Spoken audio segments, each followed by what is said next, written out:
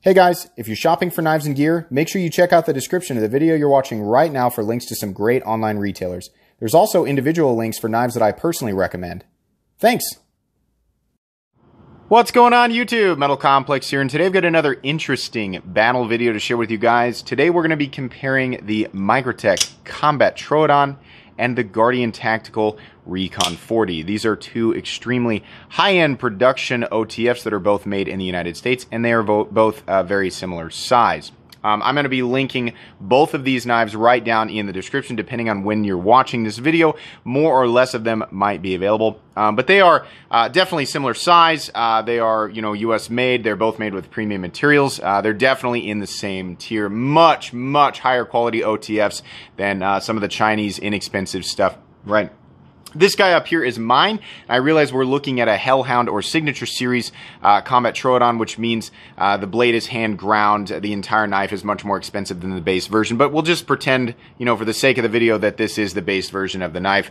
Uh, and then the Recon 40 is the, the only, well, I guess they do have custom variants of this or more, you know, semi-custom variants of this, but this is the standard production version of the uh, Recon 40. This guy is mine, and this guy was sent in by a viewer. There are other large OTFs that could be be compared. Um, I've actually already done a video where I compare the Combat Troodon with the Benchmade Infidel, so you can check that out if you want. And then I know Microtech's new big boy is the Scarab 2. I've yet to handle that one, but as soon as I get my hands on it, I'll do another video comparing it at least with the Combat Troodon.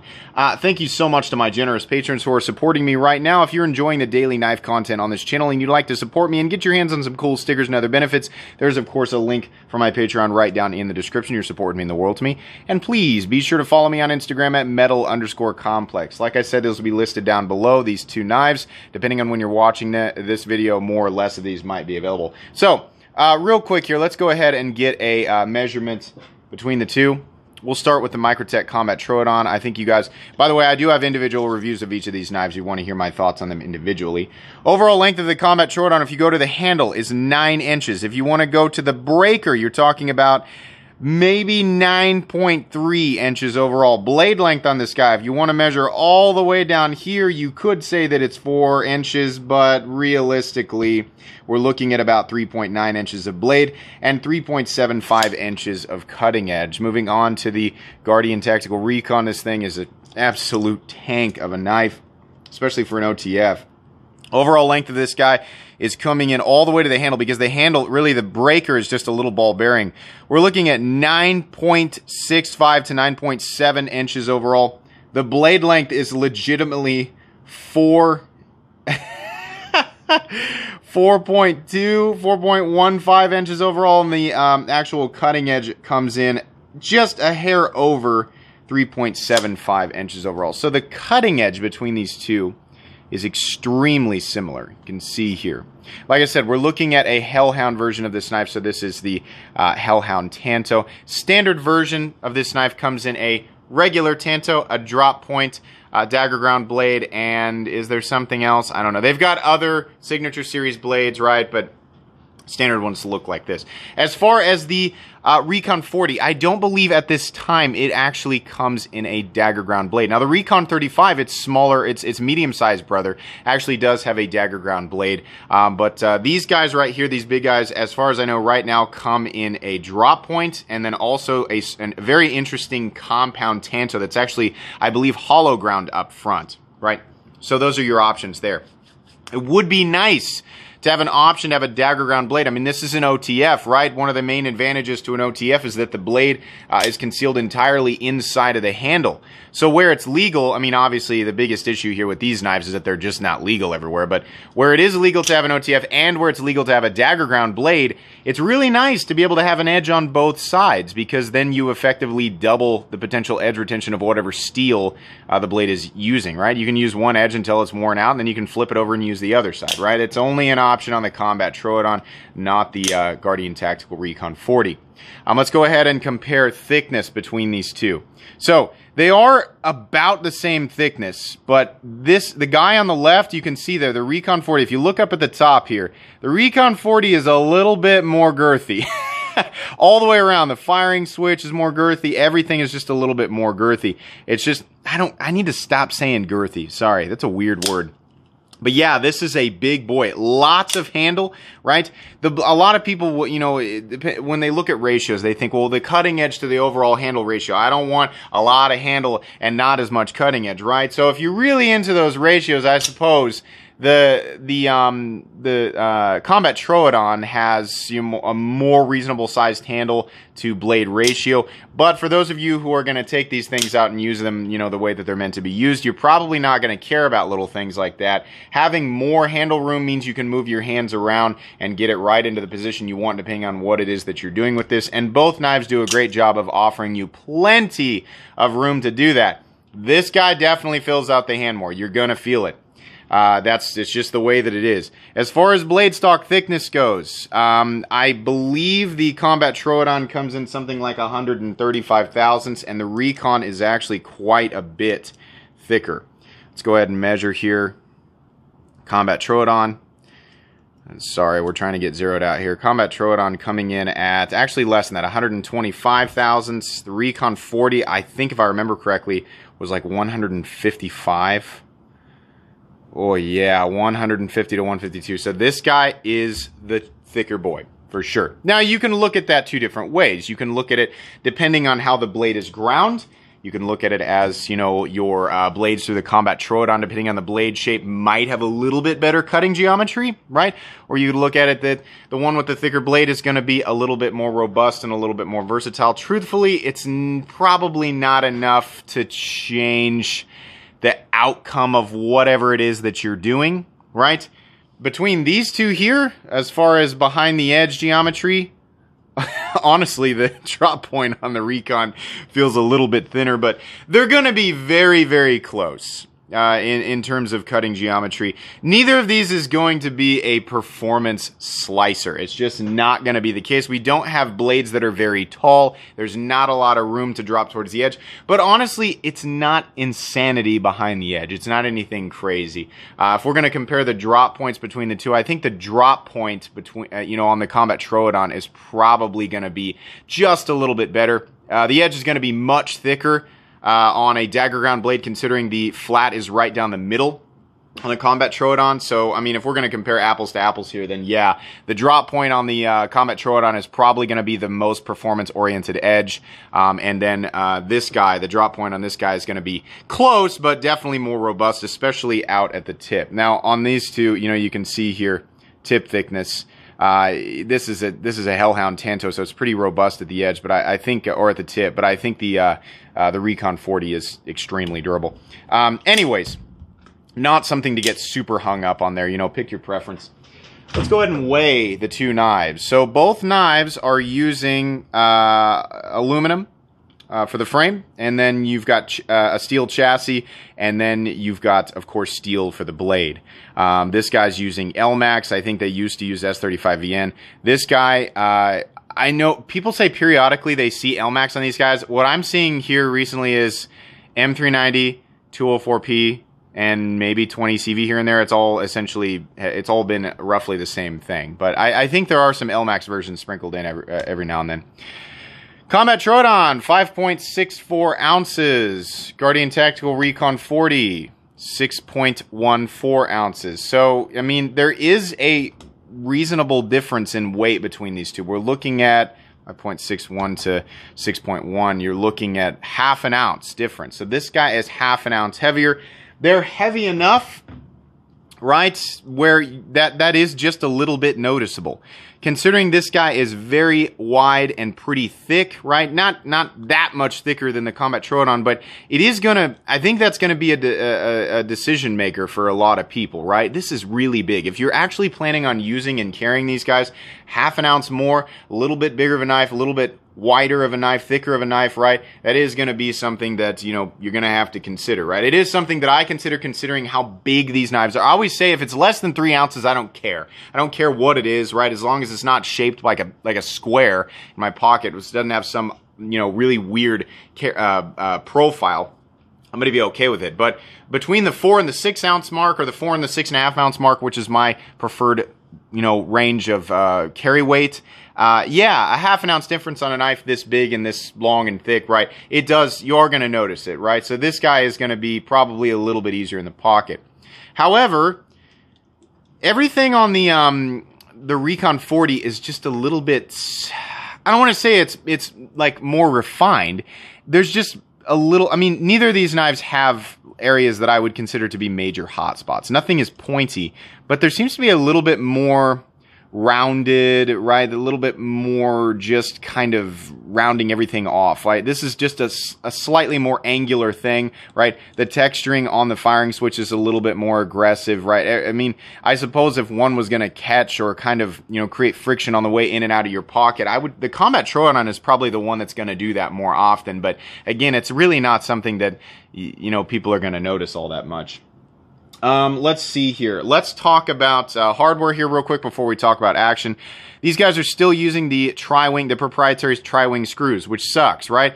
Now, considering, you know, the new uh, Scarab 2 is using Torx heads, it looks like maybe Microtech is interested in moving away from some of this stuff so that people can actually get into it. As of right now, if you want to pick, a, pick up a Combat Troodon, you're going to be dealing with these screws. I carry this guy every now and then. I'm not going to tell you guys that this thing is like a daily user and I'm out beating on it all the time. I mean, you can tell. It's in really good shape, right? My wife gave me this knife for Christmas a while back. Um, but uh, I've fired this thing well over a thousand times. Um, every now and then I spray some uh, rem oil on it. That's what I use. There's lots of different things you can use, right? I've never, you know, needed to get inside here. If you're going to be using an OTF in a very dusty or dirty environment, then yeah, you're going to find yourself needing to periodically take the plate off of this and clean this out. Because if debris gets in there, it can slow down the blade, right? And if the blade can't deploy, then you don't have a functional OTF, right? So that is something to take into consideration. On this guy, we have T6 screws. Personally, I don't like T6, but I'll take T. I'd rather have T8 because the bits are, you know, the, the T8 bits are bigger and the heads of the screws are bigger and it's just more dependable. It won't, things won't strip out as easily. I'll take that over the tri-wing just so I have the option to get in there, right?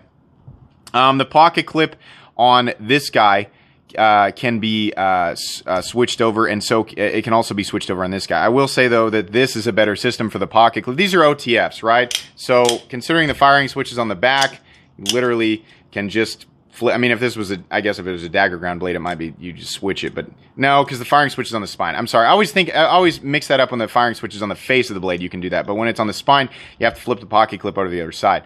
This is doable. I actually did um, just you know just to see if I could do it. Um, I took a uh, some some vice grips and I took like a, a, soft washcloth and wrapped it around here, and then I just clamped down and I was able to unscrew it uh, to get the pocket clip to the other side. So that's something you can do at home. This guy's much easier to do though because you've just got two T6 screws back here and you just flip it over to the other side. That's it's way easier. It's just a better it's a better design than this.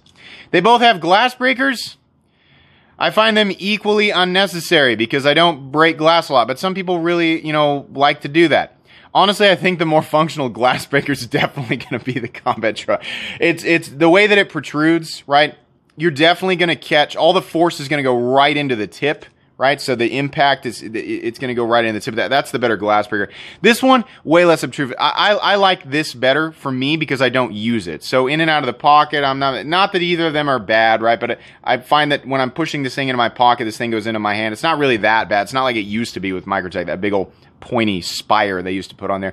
But this one's better for me because I don't use it. So it depends on whether or not you care about the glass breaker, right? Um, but yeah, as far as which one's going to be more functional, definitely the one on the Combat Troodon. This one's going to work. You're just part of the impact is going to be it be kind of like a lancing blow. It's going to kind of come off to the side, and you may not get the same type of impact force, you know, between the two. I don't know. I'm not a professional glass breaker. Let's talk about ergonomics between the two. Uh, primary area to place your index finger and your middle finger right here, right? You can scoot down. There's plenty of room to choke back right? The reverse grip, also good. The jimping is in all the right places. They've got it good amount of texturing right here. Really, I, am not uncomfortable on this knife. Uh, it's pretty good. The bill on the pocket clip is the hot spot. That's the part that's going to bother your hands, right? But as far as like holding onto the knife and feeling comfortable, it's pretty good. The uh, the uh, texturing on the button is a little bit aggressive on this guy, so that's going to wear into this area on your hand if you're going to be using this knife continuously. This guy, pocket clip, is much less of a hot spot, and the entire thing is more rounded and more comfortable. The switch on this guy, very, very comfortable, not aggressive at all, very nicely rounded down. So continuous use on this guy. It's a bigger guy, it's a thicker guy.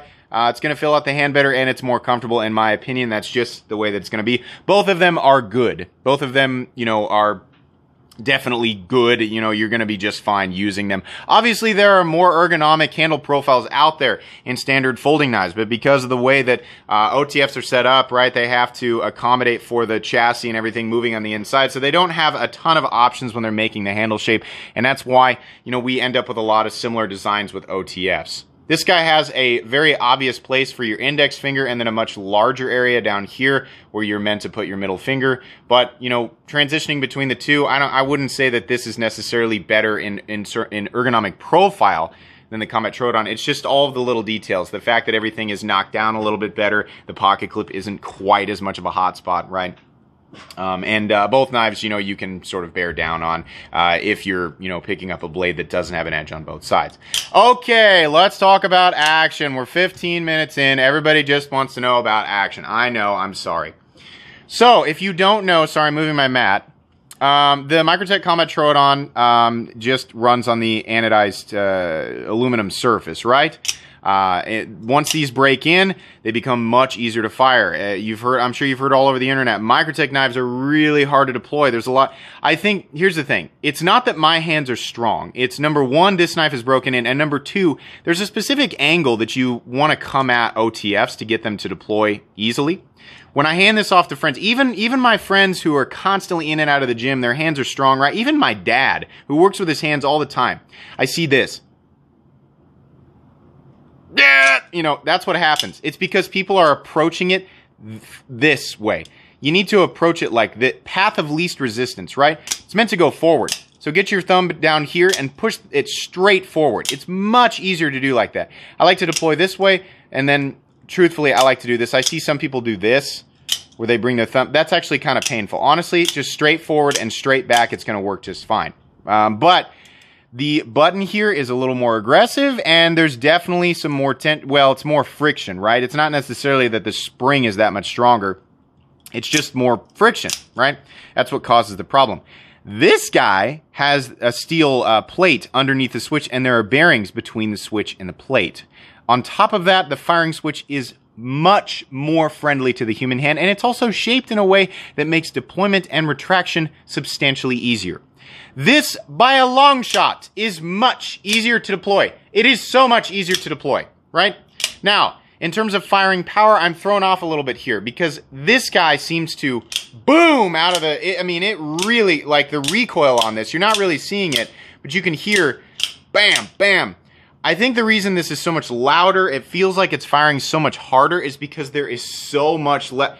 I think even the blade come I remember hearing something about the chassis, even the control at which the, the blade leaves the handle. Neither of these blades rub, right? Some people will say there's reports of the Combat Troodon rubbing, right? Maybe after a while, I don't know. This thing seems to, I don't think that blade touches anything at all on the way out, right? And it's, the firing switch is so smooth. Everything on this knife is so smooth. It's throwing that bigger, thicker, heavier blade perhaps with the same force, but the impact and the recoil is giving me the impression subconsciously that it's firing harder. Is it actually firing harder? I don't know. This one certainly shakes a little bit more. They both fire hard, guys. They really do. But if I was going to give it to one for firing power, or at least the feeling of firing power, I'm going to give it to this guy. Does that matter? No. The only thing that matters is that the blade deploys. If you're watching this video thinking, I want to get the one that you just hold it up to a surface and it goes right through, that doesn't exist. That's in the movies. You've been fooled by the movie It or whatever other movie you watched in the 80s where they did that with split. That doesn't happen. Single action OTFs like the Microtech Halo 6 uh, run on a much larger spring and there is constant, an enormous amount of constant uh, pressure on that. And they don't have the same system where I'll give you guys an example here real quick. Just use this envelope box. Um, if you were to fire this into a surface, right, there's what happens. All right, it sort of derails, makes a small puncture mark right here, right?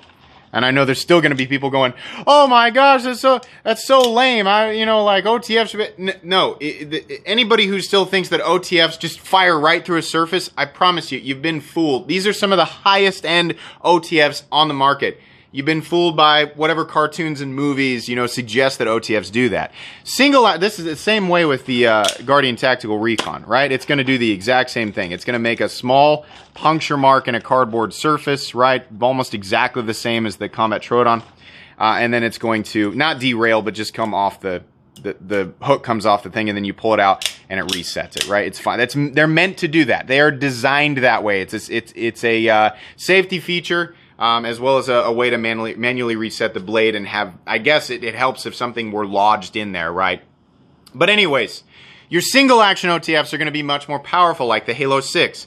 I would not hold a Halo 6 up to my arm. I wouldn't hold any OTF up to uh, an arm or any part of my body and do that because you're going to at least get a puncture mark and it's going to bleed. Don't do that. That's dumb. That's a dumb thing to do with a knife, right? I definitely wouldn't do it with a Halo. Do I think it'd go all the way through? No. But it's much more powerful. Uh, and uh, that's where some people get that idea. But there is no such thing as one that you just hold it up to a th- like you're not going to be able to go up to a watermelon and push a button and have it.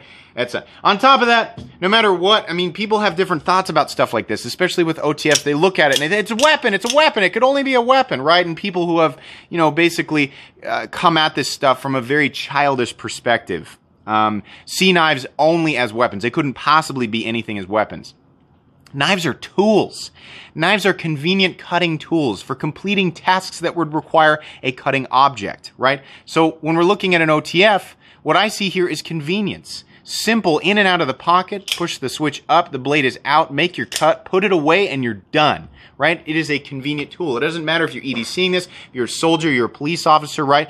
Generally speaking, 99.99999% of the things that these type of, types of knives, folding knives, fixed blades, whatever, seriously, 99.99999% of the things that these these things are used for are just simple cutting tasks. Just simple cutting tasks. They're really despite whatever marketing suggests this or that, right? There, of course, I don't mean to disrespect the self-defense community. Obviously, a knife can be used for offensive and de- defensive stuff, right? But for the most part, it's largely not being used like that, right? Most of the time, stuff like that is it's it's marketing, right? They want you to the, the idea of it, right? It's cool to you know somebody who can afford a Ferrari. It's it's awesome considering you know the that the car is capable of going 200 miles an hour. But for the most part it's usually either just sitting in a garage or it's just a casual you know driver. That's a poor example there. It's a, a very poor comparison it hardly not not a very good analogy. But yeah uh, if if you're under the impression that these things are made as weapons no, they can be, but for the most part, they're just, you know, meant as convenient cutting tools that are going to hold up to the type of stuff that you would use a knife for. And they both do that well. These are both incredibly durable. You can actually uh, check out X-Ring's channel for a uh, an example of exactly how strong these things are once they're locked out. And what locks out the Guardian Tactical Recon is extremely similar to uh, the uh, Microtech Combat Troodon. So yes, these are going to be durable. The materials are um, going to be uh, durable enough to handle what you can throw at them, right? Um, but the whole fire, firing power thing, this guy fires harder, but does it matter? No, it just needs to be able to, you know, lock out.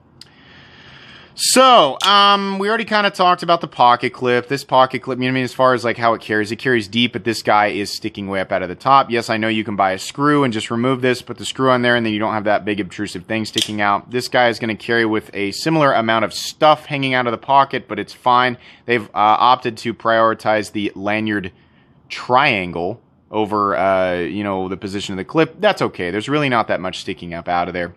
Um, I, uh, I, I like the clip on this guy better. Truthfully, I think there are better designs for clips. You know, for you know all the way around, like in the knife. I think the like the MSG deep carry clip is one of the best clips that you can get. But that's fine. Both the clips are fine. Um, on uh, both of them, I believe the clips are steel. We'll go ahead and just check that row. Yeah, steel clip and steel clip. That's the way it is on both.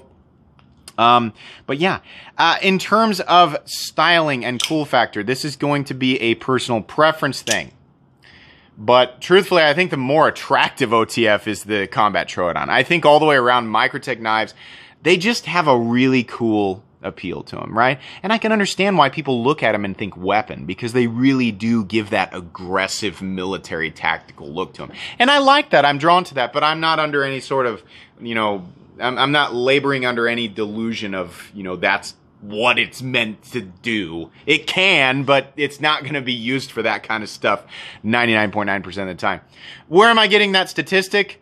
Uh, I, it's not an exact statistic. Um, I think there is an actual statistic of you know how often knives are used in offensive situations around the world, and more often than not, in fact, the vast majority of the time when that occurs, it's people using kitchen knives. It's actually pretty rare that somebody uses a knife like this in an offensive or defensive circumstance, um, especially when compared to what people generally use knives for. Uh, if we're, you know, anybody who's thinking, oh, it could, it's kind of a foggy area, no, it's, it's as far as that. If you're you're you're looking at those two uh, statistics yeah, there's way more people who just use knives as tools, right? So I'm justified in my my opinion, or at least from my perspective, I am. I'm sure I just opened up a whole unnecessary can of worms. Anyway, let's get back to the comparison here. Cool factor, it's going to go to Combat Troodon. Um, in terms of ease of carry, it's going to go to the Combat Troodon in terms of options, total options. These come in way more colors. These are black and, you know, either black or two-tone or tumbled for the blade, and there's only two options for the blade. So all your options there, absolutely. Um, you know, and, and carry pro, that goes with the thickness, right? In terms of the cutting geometry, I guess technically, you know, the Combat Troodon does have a blade that's probably going to be a little bit better for performance cutting than this guy, but it depends on what you're using. Just because a knife is thinner behind the edge doesn't make it universally better. It depends on what it is that you're doing with it. These guys are using Elmax. These guys are using 204P. Elmax is going to have really good edge retention. It's definitely going to be tougher than 204P, but it's not going to be quite as stainless. Uh, the uh, Combat Troodon using 204P M390 20CV, right? Occasionally Elmaxes compare it with 20CV and the, the, the analogs to it. Much more stainless, much better edge retention, nowhere near as tough. You're going to have a much harder time sharpening these guys, especially if you've got a Tanto, right? On, on actually on either of them, right? But uh, the Elmax is going to be friendlier to sharpen. Honestly, I think it's more suited for what the knife is going to be used for. But uh, really, it's that's a preference thing, so I can't really count all the way around one one way or the or the other, right? Um, ease of manipulation by a landslide goes to this guy, right? Uh, that's the biggest factor here in terms of function, right? I mean, if we're comparing all those things, right? The, the biggest thing with this guy is functionality. It's much easier to deploy, and honestly, it's much more satisfying to deploy. For people who care, yeah, the button on this guy wiggles around a little bit in the open position and a little bit in the closed position. Some people claim that their combat Troodons don't do that. I honestly don't care that the button moves around. On this guy, the button moves a little bit, but is much less audible. Same thing in the closed position, right? Which one feels more solid? This guy, when you shake it, you can kind of hear the button moving, but everything else is solid. This guy, actually, I can hear the blade in there. I don't think...